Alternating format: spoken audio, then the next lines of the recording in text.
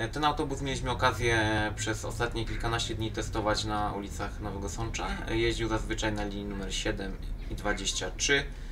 E, No można o nim powiedzieć, że jest na pewno bardzo komfortowy w porównaniu do tradycyjnego napędu, jest bardzo cichy. W zasadzie nie odczuwamy tu żadnych drgań związanych z silnikiem. Pasażerowie bardzo pochlebnie wyrażali się na temat tego pojazdu.